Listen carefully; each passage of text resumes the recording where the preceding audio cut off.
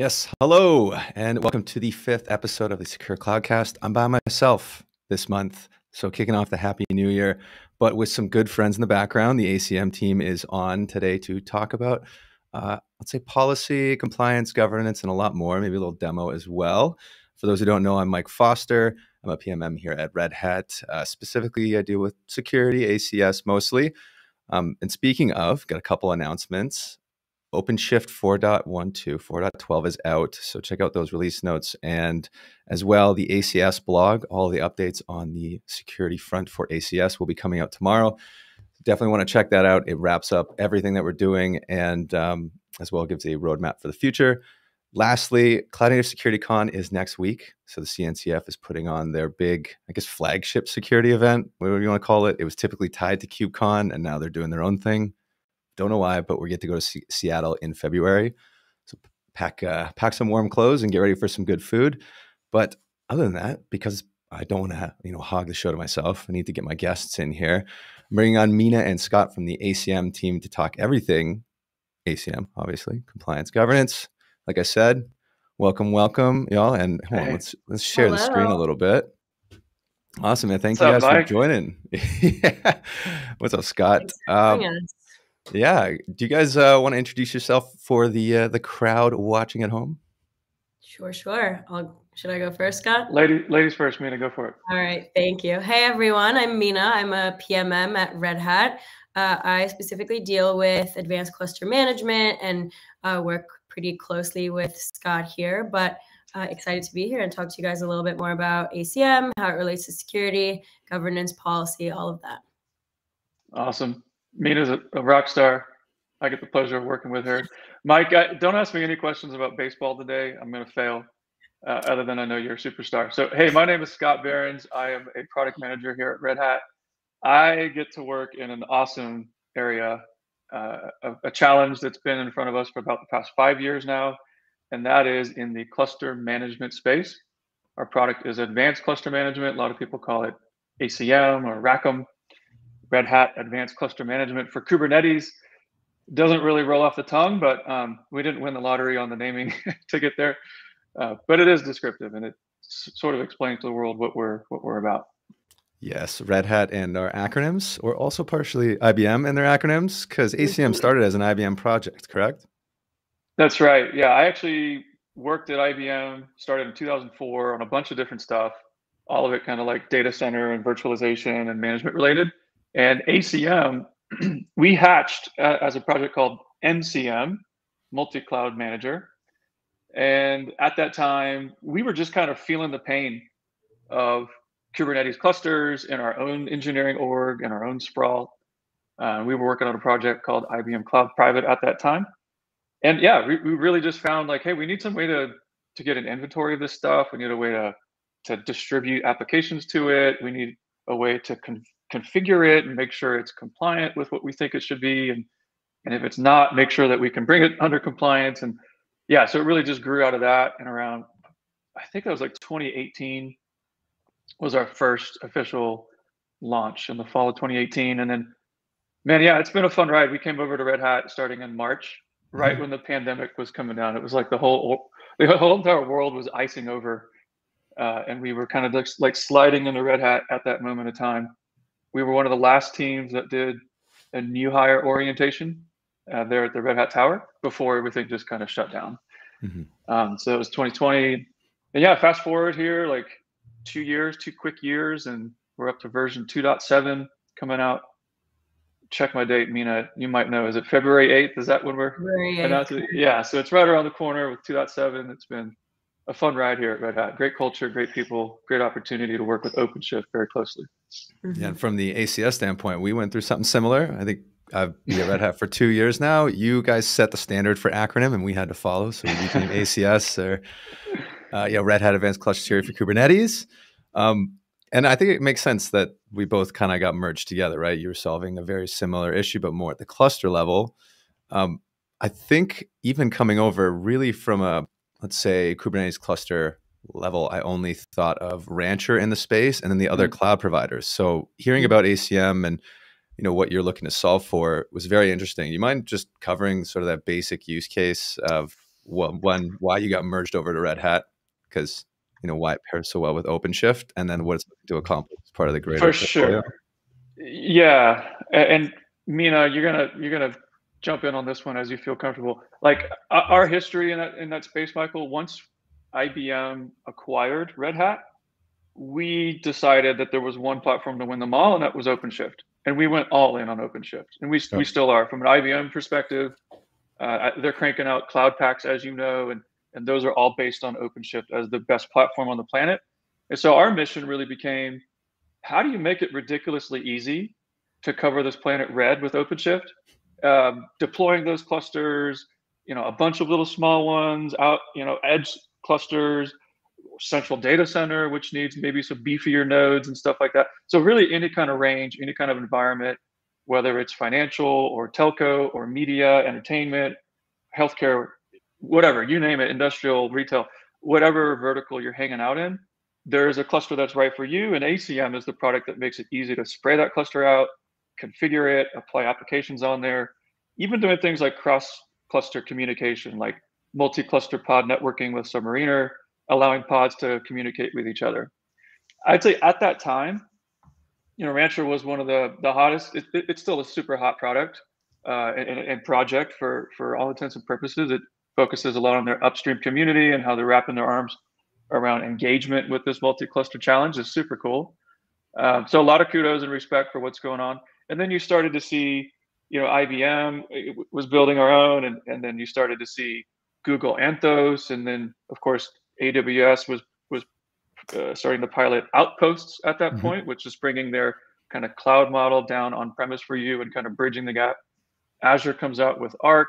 So there's been a steady trend as each of these hyperscalers has started to like put out their uh, ideas and, and put out their projects in this space. Uh, it, it, feels cool that we were kind of early in on that problem. Um, I'm not trying to like toot our horn and say we were the first. I don't think that's true, but we we started to focus more on the enterprise and how we can deliver value to to to you know larger corporations that need to know things about security and they need to care mm-hmm. about things like FIPS compliance and what's going on with you know SOC compliance and, and all that kind of stuff. So yeah, we really started to hone in our message and, and narrow in more on the security ops point of view.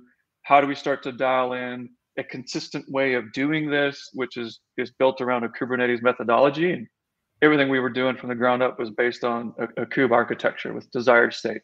Mm-hmm. So it's that's really kind of how we got into this spot, and um, yeah, it, it's it's great to see competition out there. It's great to see VMware and Tanzu like they started getting into the fold in the last few years, and everybody kind of has their horse.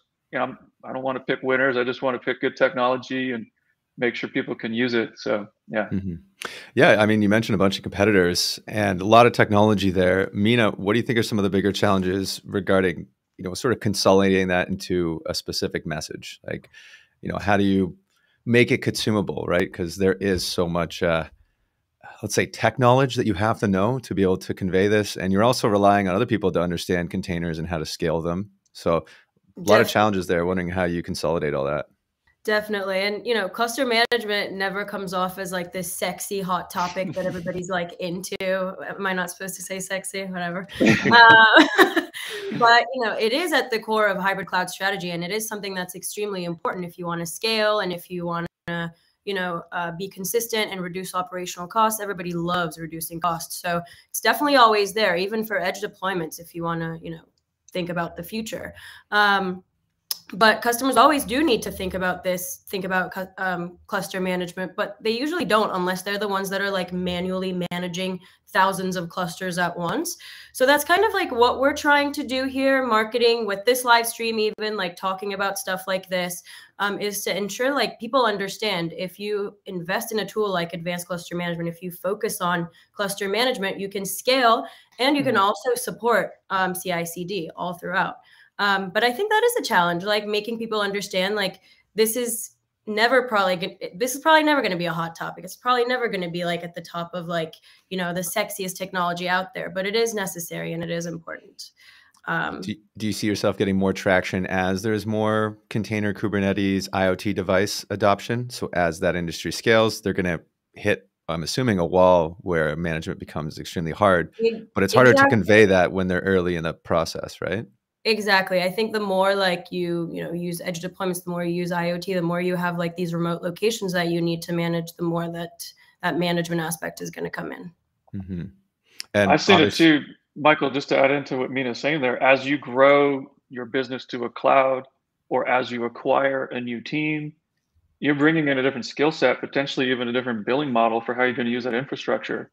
And that's part of the friction we're trying to solve. Those are cultural differences as teams come on board. Those are regional differences as they're using some, you know, some different cloud interface over there, or maybe they're using on premise. But right, just kind of like smoothing over all the friction around those lines, all those hazards. Uh, exactly as Mina said, just making sure it works everywhere for you. Part of that open hybrid cloud mission. Very, very nice. Uh, and I'm assuming that one of the uh, the earlier you invest in technology like this, the greater the payoff, assuming you're scaling and adopting, right? Because I mean, that is the whole sales pitch for policy, right? And uh, and GitOps in general. Um, repeatability. How do you, yeah, yeah, repeatability. But how do you um, sort of communicate that to the customer or to somebody who's using the technology? I mean, what what is it we say? Uh, you know, it, it works for one cluster. Once you get your guardrails in there, you know that you how does Jeff put this? You know that you're able to take on water before the boat is sinking.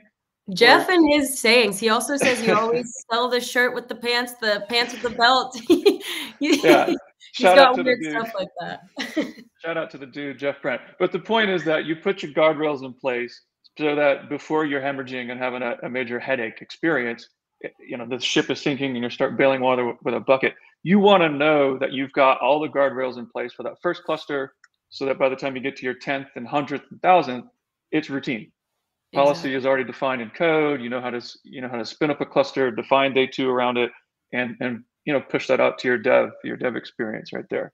So I mean that kind of brings you to this topic of like where do we where do we see like ACM in terms of our strengths and you know we can create clusters, we can deploy applications to them, we can wire them together with networking where we really start to stand out is in the security operations. And all of these pillars, every part of this product has security capabilities within it.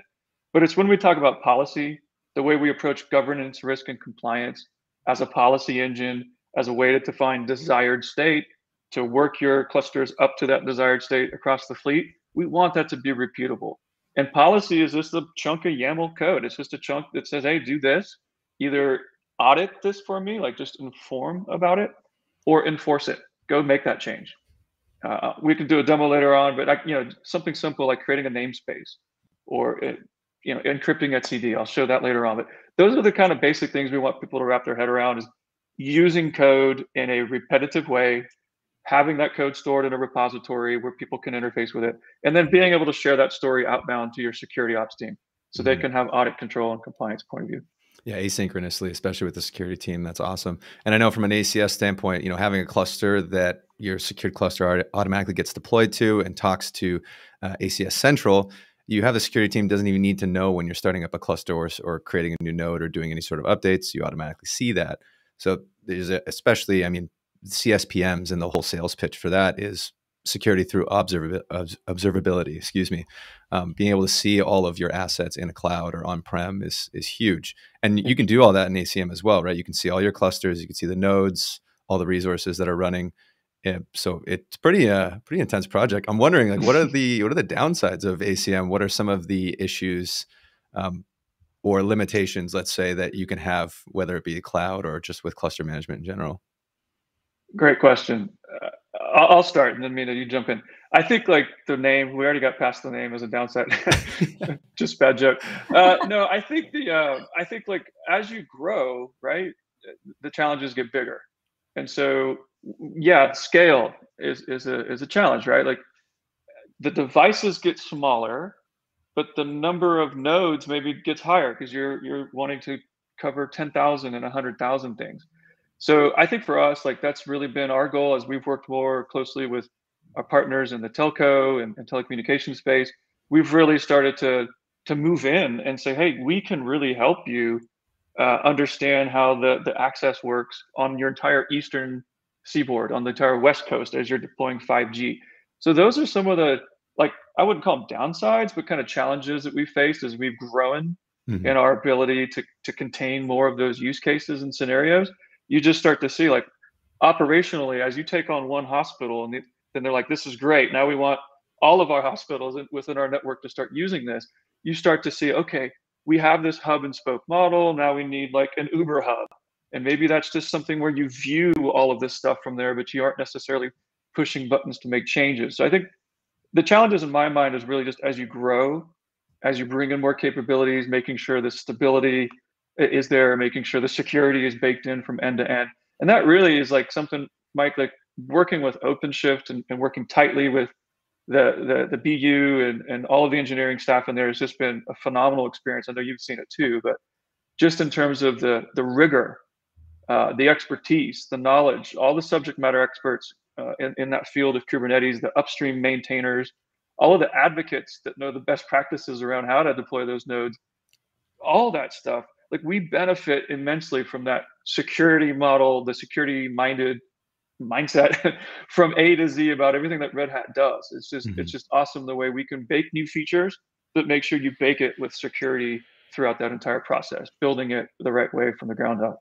Mm-hmm. Yeah, and especially the larger.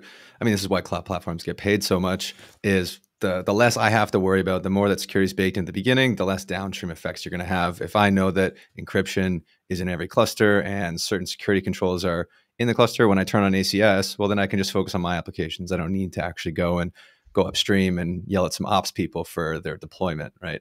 It, it actually sounds like you have a very similar issue that we have with container security, where everybody's used to using virtual machines, and there would be, you know, not as many virtual machines as containers. And then we move to containers, people realize, well, you can't keep track of them all. They're just getting too small and they're too fast, and they, you know, they run for 30 seconds, then they're gone. So then the, the conversation becomes okay now we just need to start moving things you know upstream and set our controls where it's automated so we can actually you know get a get a grip on all of our resources that are out there right and i think that as you know we get into hypershift single node OpenShift that acm is managing you start to run into that same issue right where things are getting a lot smaller how do your teams actually understand all the resources that are out there uh, and how do you actually create a dashboard that can that can show all this information i think because I know the ACS dashboard is a wealth of information, but also a little overwhelming for some first time users. Do you get sort of the same opinion when you demo AC, uh, ACM? Yeah. Yeah, well, like a dashboard is an instantaneous RFE magnet. Like you, you put up your opinion of what should be in a dashboard, and then there's 15 new opinions that say no, it should have this, it should have that.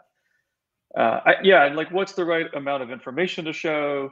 Do you have a zoom in slider so you can go from the global view down to the street level? you know, these are all things we play with. You guys have done a great job in ACS uh, recently with your network visualization. That's also exploring like network traffic and how security flows are happening with firewalls, and you can think about global boundaries in that context. I mean, I love that. That really exposes teams to a, view of the world that they probably hadn't considered before, or if they did, they probably had to hammer out like I don't know hundreds of commands to figure it out uh, and, and, just like one picture like that can really start to explain the story holistically. How is this application running? What are the routes that have been exposed? Where are my points of egress and ingress on this? Those network flows that you guys put together are exquisite. So well done. Thank you, thank you, uh, Mina. So Kim couldn't make it because she had a lack of internet issues, but she did drop a question. I think probably directed at you. How can ACM help with governance and compliance? Thanks, Kim. Um, honestly, what I kind of wanted to talk about when it like relates to security is definitely our governance and compliance pillar is where we do most of that stuff because security teams are always thinking about how they can set those security policies across diverse environments and ensure the enforcement. Um, and again, ACM allows customers, uh, you know, Scott talked about this earlier, but ACM allows customers to control the full application lifecycle and the desired state security um, and compliance across multiple data centers. Um, and then these controls are linked to industry compliance standards and convey audit posture to the security operations teams. Earlier, you talked about um, consumability, Foster, and mm-hmm. you know when it comes to SecOps teams, you know consumability comes down to creating policies and assigning them dynamically, essentially. Um, so I think like kind of the biggest value prop of our governance and um, governance and compliance pillar is that you're able to again comes down to scale always take thousands of thousands of clusters, see them in a single panel, and then push out your policies throughout. Um, and this again comes down to cost, uh, reduces operational cost because it just reduces the amount of labor and manual processes that go into that. Um, but I think like when you think of ACM, you don't you don't necessarily think about security. And I think we have a lot of really great security tools within ACM. But when it comes together with ACS is when it makes when it makes sense. And that's kind of what you know gave OpenShift Platform Plus uh, life is mm-hmm. how do you bring these products together and how do you you know make sure that you're using all of their strengths together um, and this is something that we're uh, discussing with the acs team right now is how can we moving forward kind of um, convey the strengths that ACS and ACM pull together and how the security features that come from uh, ACM work work well with ACS. And obviously, ACS is um, you know the security expert when it comes to Platform Plus. But um, I think that's kind of what it comes down to is when they work together, they're even yeah. better. But with ACM, hmm. you do have some security um, and governance and compliance uh, features packed into that pillar. I think keeping the auditors off your back is also pretty uh, important, yes. right? Everything is code. You can say, "Hey, no, look, we're doing the right thing. We have our policy here. This is the cluster status." And I'm assuming too, you know, if you set a policy and the cluster drifts, you're getting notifications of that as well, oh, right? Oh yeah. So, yes, um, we can I mean, fire alerts off of that. Yeah, that I mean that's a huge uh, benefit. We did have another question from Dwayne. Uh, what are the challenges for RAN, ORAN, edge issues? Uh, assuming with an ACM bent, uh, mm-hmm. Dwayne. So any thoughts? Well, yeah, I'll, I'll try that one. I mean, uh, great question. And the challenges really come down to network. They come down to latency. They come down to the size of the device. You know, Edge, especially in the telecommunications space, is really focused on the 5G rollout. Sorry, that seems like a silly plug here, but uh, you know, a lot of the partners we've been playing with, uh, uh, partnering with, um, are in that that crunch right now. And they're like, we can't wait to get this rolled out in the next metro, right? Is that going to be Minneapolis? Is that going to be Chicago? Is it going to be wherever else? Uh, so the challenges really come down to: Do we have the right technology stack to support those applications? Is it small enough? Is it lightweight enough? And then you have to talk about the life cycle of that stack. How do you upgrade it and make sure that the application doesn't just fall over and you lose, you know, network with uh, you know, millions of people subscribed to your towers? Yeah. So yeah, all the like rolling upgrades out to the fleet. How do you start it small? measure the success rate of those upgrades, and then fan that out, you know, onto the eastern seaboard. So a lot of those questions that really plague the central IT and the platform admins, it also plagues uh, those, those same questions chase you, and the, the same ghosts are haunting you as you approach the management and lifecycle of your application out on the edge. It just so happens that it, it's often more critical. Well, I shouldn't say it's more critical; it's as critical, but that edge device is literally providing a safety and security feature perhaps to a, a car or a house or something that mm-hmm. really relies on its edge capability and the edge network to be alive. If that thing goes down, then perhaps it's not keeping an eye on on the streets or on the airport or on the runway or whatever. Um, so, yeah, I mean the criticality of the business is moving to the edge. You're, you're seeing that more and more. Uh, the constrained size of those devices, the sheer number of those devices, those add to the challenges of how you manage out, out at the edge. Yeah, just uh, I kind of want to see this in action, but as a small cultural comment, I mean, every single store I go to now has some sort of electronic shopping device, some sort of inventory management system. When you walk up, like everything is going super smart. I mean, hell, some of the fridges are are uh, smart devices that need to be updated, right? So I think this is going to be a consistent challenge, and I don't really see it shrinking at all. I mean, even cars, right? I mean, we partnered with Ford during KubeCon. Um, there's a lot of different technologies moving into this space. Mm-hmm. So I think that it's going to be not necessarily what you think of as tech companies that are going to have this problem that they're going to have to solve for. Companies like I don't know any sort of inventory management system, Home Depot, you name it. This is not a Home Depot plug either, but uh, I could see the just you see it in in the industry growing. So I think this is awesome. Um, now we did somewhat promise a demo. I see Dwayne actually comments. Is it possible I was federated or do do do? Well, let's see this zero trust for open science. I might have to clarify that one, Dwayne. So I'm not quite sure what you mean by that, but well, uh, maybe if we take a stab at that, you know, one of the sure. things that we were talking about, uh, Mina was highlighting ACM's governance, risk, and compliance. Uh, and really, I want people to think about configuration management, config drift. And then if they if we talk about ACS and your your kind of security posture, you really are focused on the build and the shift left and secure supply chain and things that you know, maybe that's what the zero trust that Dwayne is talking about is ensuring that that part of the build and that part of the CI and, and the whole world where the developer lives is secure. So from left to right, we really are bookending the the security definition here as part of OpenShift Platform Plus and ACM mm-hmm. ACS working together. Uh, I, I, don't know if that's where Dwayne was going, but that's what what I was thinking is you know maybe it's it's a way that we use both products together in the the, the, the arena that they're designed in. Yeah, I from my brief stint in research, I think a lot of it has to do with how data is shared and a lot of mm. the way the jobs are run. So it's you know, there's some hacks that happen with uh, Jupyter Hub and mm-hmm. different applications that allow some uh, access to databases that shouldn't be there. And I, I, think that as we get more AI and more health data, you know, HIPAA and things like that, we don't exactly want to be sharing these databases. Um, 100%. That, that that's my guess. Dwayne, correct me gotcha. if I'm wrong, but uh, no, I think that's awesome. Now we did somewhat I, I heard a promise of a demo, a slight whisper, rumor. Yeah. Did you have something prepared for us? I don't want to put you on the spot. Let's do it. Yeah, let's flip it over. I'll spend a few minutes and just sure. to kind of to bring to to the to the mind and focus in on what is what does it all look like. This is an environment running ACM. Um, you can see I've got uh, clusters that are spread across across a bunch of different clouds. Even my my vSphere like on-premise estate there and really just in terms of like the overview, like you said, what do you do? So we can launch to Grafana and we can have like a board in-depth view of all this, but this is just kind of an overview and you start to see where I've got clusters with violations. Um, this really speaks to the language of policy and, and helping me dial into this is perfect environment. I have nothing that has a, a, a perfectly you know, green uh, mark against it. So this demo is is broken from the start. Everything needs work, which is mm-hmm. great.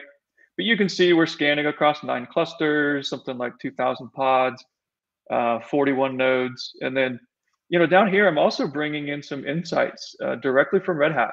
So Red Hat Insights takes the view of the entire fleet of OpenShift clusters, and they boil that down into known issues and, and, and issues that you can remediate. So I'm, I'm also identifying that I've got a cluster with some known issues on it and again, that's taking something like 20,000 plus uh, OpenShift clusters, mining that data for, for interesting uh, symptoms, and then providing uh, remediations out there. But this, you know, like pre-canned dashboard, like I said before, it doesn't speak everybody's language, but just kind of gives you a glimpse of where we are in this environment. Uh, from there, you know, if I just want to talk governance and specifically, this is where we start to really cater in towards the security ops, towards the, the audit, you know, the controls team, we're speaking their language with standards and categories and controls. You know, I, I, can start to look at my NIST standards here, and I can really dial in and start to, to to really go into that language and the jargon of baseline controls and security assessments. So as I have to like pivot the work I've been doing today, and like in one minute I'm a platform engineer and I'm configuring clusters, in the next minute someone taps on my shoulder and says, "Bro, like, do you have it all configured for?" this or that like mm-hmm. you know i can i can turn like so yeah look here's how i'm doing that and this is how i'm uh, addressing the concerns of security in a day-to-day basis so violations are being reported have policy sets that help me group together policies but okay. like let's just take a look at a policy and, and feel free to interrupt if there's something that doesn't make sense or if it's not showing well on your screen um, I'm, I'm just going to quickly grab one that i know is in here this is my etcd encryption policy. You can see it's it's it's adhering to the NIST 853 mm-hmm. for protection of security at rest on um, the communications protection there. It's been enabled. Right now, it's just informing, so it's just telling me what's up. And I can tell that there's two clusters that are in good shape. So if I click in here and just want to get some more details, I can see it's it's two clusters, local cluster in Carolina. Um, and again, it's just informing, so just give me like an audit picture and let's see what that looks like. You know, I was I was telling you before, Michael, like what's what's cool for me is when I can see the code, like how this has been defined. Mm-hmm. And what we really want people to start to understand is this etcd encryption, it, it really kind of boils down to one simple section that you've probably seen before as you've defined uh, you know encryption on your cluster, which is tell the API server to go encrypt itself. Mm-hmm. And, and basically that's how you would do like an OC apply. If you were going to or OCADM. Like if you're going to run some commands to go do that manually, by wrapping that in a policy as code, I can now repeat this across a bunch of clusters by, by using placement. And in this case, I'm just saying any environment with a label of production, I want to I want to you know encrypt etcd. So go do it. Mm-hmm. Um, another part of this is this YAML code. Like I wouldn't even be able to make changes in here because this is all stored in Git. So oh. I have the ability to just uh, point to that repository and I can say, and I don't know if this is going to open or not. Maybe it's a new tab. But these are the these are actually the the source uh, uh, Git definitions. These are actually the source YAMLs mm-hmm. of that policy that was just on the screen, and you can see it's the exact same stuff here that I was telling my policy to do. So we have kind of training wheels, like, hey, I just want to go in and, and start creating this policy. I'll do it directly locally uh, on that UI. And then over time, I build up my capability, I build up my repertoire. I can generate those policies directly from the source manifest that you might already have. You might already have uh, some YAMLs sitting around that you use for like day two configuration. Mm-hmm. Think about creating limits, creating roles, role bindings, users, uh, HT password account, all the kind of stuff you do on day two to configure a cluster. I can take those directly as they are, drop those YAMLs in the policy generator, and create these policies, which I can now enforce out to the fleet. Yeah. So let me go switch back here. And I think there's a huge strength here, which is you can sort of set a let's say gold golden cluster because the data science team might need something different from you know the database team, right? But being able to go and say, okay, etcd encryption is a must at the start, and then you know maybe for some reason you don't need it, well then you can make that change later and sort of section that group off, right? And say, okay, this is the data sciences team's YAML configuration for their OpenShift clusters, correct? Yeah, that's right. So using the placement, I could come through here and start to set that remediation to different sets of clusters. Um, I just created this one for East and I'm going to enforce it. And I actually want to place this out to any of my environments in the, you know, I don't even think I have a region yet, but let's do this. Let's just say region equals, uh, I'm, I'm adding one on the fly, on the fly here create region, and the value is going to be east, okay? So just for giggles, I'm like creating a new policy. Um, I'm not going to sit around here with the annotations for this second, but I want to enforce this. What's this going to do? Well, nothing because I didn't do something right in here. In my in my placement template, I went too fast. I forgot to add in here my enable etcd encryption. All right, and so now it's going to say this is where it's going to do the enforcement there. It's going to actually check and verify. Good deal. And this time it's going to go through. All right, so it's going to quickly just scan out there. Does anything match region east? Mm-hmm. And the answer should be no, because I, I know for sure I don't I don't have that label. But what I can do is I can I can start to go into my clusters. And this is where you understand like once you create a policy, but once you have that relationship defined, any new cluster that you create, any yeah, any cluster that you import, let's say from a, a, different user group, like all of a sudden you're onboarding 100 clusters. All I have to do is have that label. So let's go pick, um, I'm going to pick this ARO cluster here. This is Azure Red Hat. And I'm just going to add a region equals east. And you can see it has a Pac-Man game deployed. I know it's in Cloud Azure. Like it's got some other labels that are doing things there. But um, let me go back real quick and find that policy and show you what's going on. I think it was called East something. Yeah, so now all of a sudden it has one cluster that has a violation. Um, it doesn't have the full status yet, but we went from zero to one and it's matched it on the ARO. That's where my label was. Mm-hmm. And I can start to drill in and I can see exactly what it's doing. So it's getting more results as it's scanning that API server and figuring out what's going on. Um, is it actually encrypted yet? Hasn't found it. It's still doing the work. It takes probably 30 seconds to a minute to come back on that cycle. But the point is, now I've defined this policy for, for the group, like you were saying, Mike, like, well, I just want to define it on this group. And mm-hmm. now it's found it's violated. So that just updated. Since it's got enforce here, it's actually going to go do that work. So it's in the process of enforcing wow. that, which means it's going to go enforce etcd encryption on this ARO server. This is an Azure cloud. Um, and you'll see this come back and that, yeah, it looks like a few seconds ago, It, it's just come back with the details that it, it, has finished its work. And that was the policy. Uh, again, it's its basic example of etcd encryption. But I created that one locally here in VUI just to kind of mm-hmm. give you the view of the training wheels on. Now you have this block of code. Like this is repeatable. I can go take this and version that within my Bitbucket or you know my Git repo. I can make sure I have PRs and like four eyes of review as I go through this if I want to iterate this code or make some changes to it. But yeah, I'm giving you all the keys to the kingdom, really like in your hands, mm-hmm. uh, and allowing you to, to move forward with that uh, with repeatability across your fleet. Any other cluster now where I start to give it that label, it's going to adhere to that same policy. Let's just take another one for the sake of hitting you on the head with this example. Uh, I'm going to add a ROSA cluster here, and then I'll go back into that policy, and we'll see it react. Uh, I hope that looked easy. I hope that was informative. But I mean, the idea here is is we're really bringing the keys to the kingdom and allowing you to configure it um, one time, and then you have the repeatability repeatability to go from there. Mm-hmm.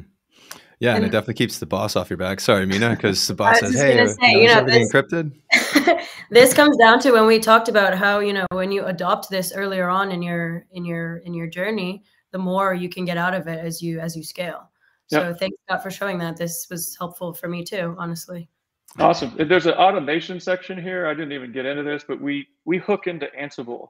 So from here, like if I had an Ansible uh, tower that was running, I would be able to start scheduling Ansible jobs that would take place in result of something being non-compliant. For example, mm. if I need to go renew some certificates or something that's more like, let's call it off cluster, maybe update a ServiceNow ticket, maybe inform a team in Slack that something's just taking place. Really, Ansible, the sky's the limit with what you want to do there. But that integration through all of our lifecycle areas gives me the capability to in, interact with different parts of your infrastructure and a whole new realm of possibilities.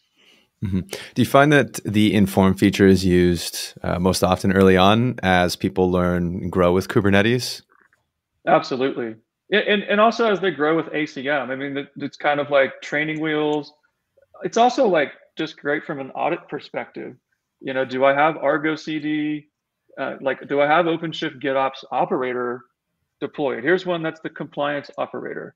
And, and so I'm just using this as an inform way to show me I have the, uh, the operator that I want deployed.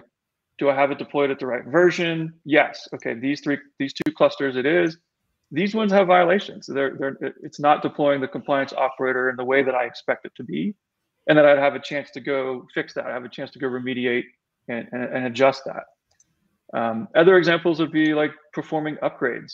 That's one I like to see where you know, I've got all the operators out there, I've got the environment running well, and then I want to use a, a policy that says, go bring this environment up to a new version. So go on the stable 411 channel, move me up to 411.9 or you know maybe now want to go to 4.12 yeah just released come on yeah let's do it let's go to 412 um, i'm going to say it's 4.12.0 so now i have this let's see where i'm Oh, I don't want to do this on my local cluster. Let's try a different one. Uh, let me pick my, uh, this is getting a little squished up on my screen. I don't know about you. Uh, let me just pick the cluster by name. Okay. And and this one I'm going to do is, um, uh, I don't want that. I want, um, I'm just going to do it like upgrade. I'm going to make a new label. How about that? Upgrade now. and I'm gonna go put this on a cluster that I know should be able to handle it, and then we'll see what happens. Oh, it's gonna be an inform anyway. This is good. Mm-hmm. So we're doing the training wheels example, and I'm gonna take Carolina. You can see it's currently at 411.9, and I'm gonna add that label for upgrade now. And the label is how we reconcile the work. It says, hey, do I have work to do? Mm-hmm. Okay, I've got a new label. Um, and I can click on Carolina and I can see, you know, it's setting the distribution of uh, 411 it's actually, I guess maybe at some point we had set it to fast 412. I'm not sure. Uh, this so this could be interesting. But what it's going to effectively do is it's going to start applying that policy against that cluster. And in theory, if this if this does what I think it should, it should update that ver version distribution to kick off the upgrade. Now I could manually do that. I can click mm-hmm. here and I can go to the latest, you know, version in my stream. I probably should have done some better homework on this demo. And, and I don't know if like a 411.9 can actually go to 412. Mm-hmm. It may not be in the upgrade graph. That's something that that gets me. But let's, you know, for giggles, let's just go back and look at that upgrade uh, policy and let's just see how it's reporting. And Plus yeah, I mean, mm-hmm. it's got a violation. It's definitely not at the version that I want it to be. And that's true. So I only put it in form. I forgot. I didn't tell it to enforce. Um, out of curiosity, though, let's go back to it and let's tell it to enforce. Sorry, I'm having too much fun, Mike. I, I was going to say this is. Yeah, I was going to say, Scott, you're like a kid in a playground. yeah, let's break it all. This is what I do on my Friday nights. I promise. Um, so I actually just told it to enforce, and um, we should see like something actually try to happen now. Okay. Uh, before it was just informing me. Now, somebody um, tries to do an upgrade that you shouldn't be doing. I'm assuming there's going to be a notification. Something should pop through.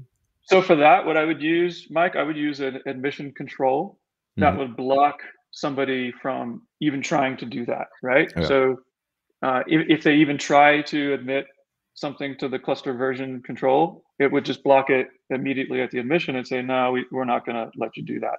And then that would give full control basically to the platform engineers that says, I control this cluster and I can I can control it with policy uh, to initiate it when I want it to happen, things like that. Very cool. Yeah. Oh, there, it just flipped to stable 412. Uh, it hasn't quite, so out there on the cluster, mm-hmm. on that managed cluster, it's actually figuring out the upgrade graph, you know, as it's doing its thing. And then it's going to tell me either it's begun the upgrade or maybe something failed, like something mm-hmm. just didn't go well. I'm not logged in on that cluster right now, but it, it, it's feeding that information back to me. But for sure, I can see the sign that my enforcement worked because I went to stable 412 right here. There you go. Dwayne says he wants a playground like that. Yeah. With uh, how many clusters do you have? Like eight clusters and. These are real yeah. clusters. I mean, yeah. we could be putting kind clusters or some other garbage in here, but um, we try to we try to live with reality as much as we can. And then from a yeah, so from a uh, the policy perspective, it now is reporting that it has updated the cluster version to the to the version I've told it to, mm-hmm. and now that upgrade is you know basically taking taking off. shape out there. If anybody's ever gone through an upgrade before, you know it, it could take some time, but that's the wheels are in motion. Let's put it that way. Very, very cool. That was awesome. Thank you so much. Uh, anybody who's watching, any last questions for the ACM team, put them in the chat. Otherwise, we're probably going to wrap things up soon. We're giving got to give you guys some of your afternoon back. But uh, I definitely no, chewed you. up. I chewed up way more than the five minutes I told you I'd take. Oh no, that was awesome though. I uh, I love seeing ACM in action, and every time I learn something new. Whether it's you guys are updating things, there's always a, another little feature that I, that I see. So I think it's it's awesome. Well, there's like the fun part of this, Mike, is there's the policy collection. You know, if if Dwayne wants a playground, go look in the policy collection. There's like 300 plus policies out there doing all kinds of stuff. RBAC. Mm OAuth, um, IDP configs, um, defining operators, even third-party contributions from like I think Trilio Vault just put something up there, and uh, you know, shout out to them on a great blog that they put together. But honestly, like it, it's it's a rich opportunity for people to come together from the consulting practices, uh, developers and, and, gurus out there that just have a, a, lot of time on their hands on Friday nights to go play. But yeah, a lot of great uh, content out there in the policy collection repo. Yeah, that reminds me. I know at Red Hat we want to uh, use uh, OpenShift Commons as a space for you know customers and users to share that information. So I think we want to create a security channel coming up. Kim and I will definitely be a part of that, where you know policy collections or you know RBAC controls with ACS or policies with ACS as well. Everything can be shared, um, just to allow new users to onboard quicker too. Right? I think that's the goal is to see uh, leverage you know bigger customers. Let's say if you're a smaller ACM user, uh, and then you you can become a power user over time. Yeah. I have one. we, sorry, go ahead. Oh, there's one ACS question. Uh, always nice to hear the scanner working so fast. So, how does image scanning work? First time you install ACS into your cluster, uh, it takes it goes through and takes an inventory of all of your images that are there, which means that all we have to do whenever anything is updated is just take that next little image layer and scan it. Now, if you go and have a complete new container, it'll be you know a little bit slower, but in general, it's the caching that makes it super fast. And I think that with the cloud service, it's going to be uh, there's be more some more functionality coming out soon. But uh, any other ACM questions? Throw them in the chat. Uh, Scott, what were you going to say before I rudely cut you off? No, I was just totally agreeing with you. Um, part of the the next steps, let's say, like as we look to the future, it's the kind of feedback that you're describing, Michael, which is how do you smooth out the on ramp? How do you make it easier for me to get started with policy so that I don't even have to like cobble together some repo? And so making it easier, like just making baby steps everywhere so that someone who's really focused on security probably doesn't want to spend a lot of time with writing code and like dropping a new repo. Mm-hmm. Maybe in my vision, my dream of the world that that person could could take it on, but just make a quick easy button where they could start to onboard policies directly out of the, the policy collection or even the stable ones that I already have in the box. Give give me some fine-tuned examples that work perfectly every time. Um, those kind of experiences and like you talked about with ACS and ACM working together, better sharing of in, information. Mm-hmm. You know, like when you find those uh, build in, uh, uh, scan uh, problems, when you when your network uh, tooling surfaces some issues, let's inform each other, right? Like mm-hmm. these are some areas we can we can continue to collaborate as we go forward to enrich it and make it, you know, one plus one should equal ten, uh, right? Like let's yep. make the the information and across security like end to end just just become more powerful within all of our tools.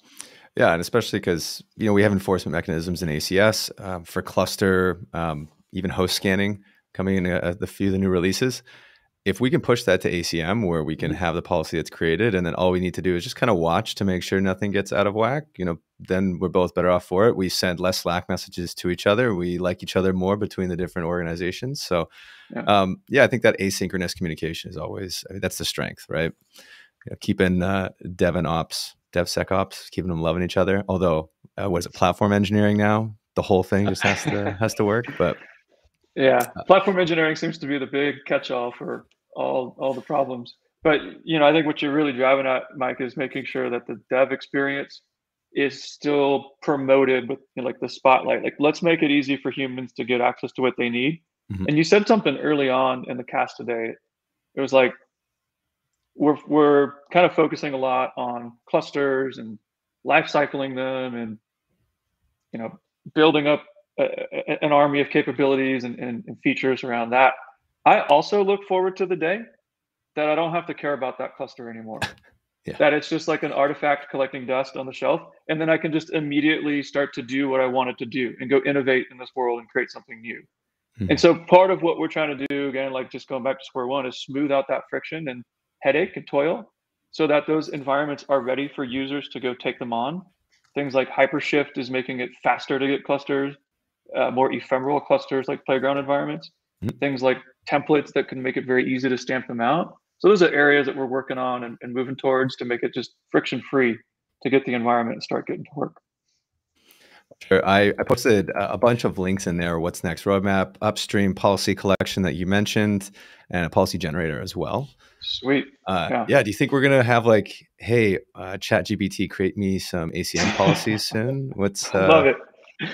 I love it. Mina, let's get cracking on it. That sounds like a good weekend project. Sure. Yeah. We got to teach uh, ChatGPT. Okay, what's the difference between ACM and ACS? And uh, let's see if it, see if our jobs one. are going away.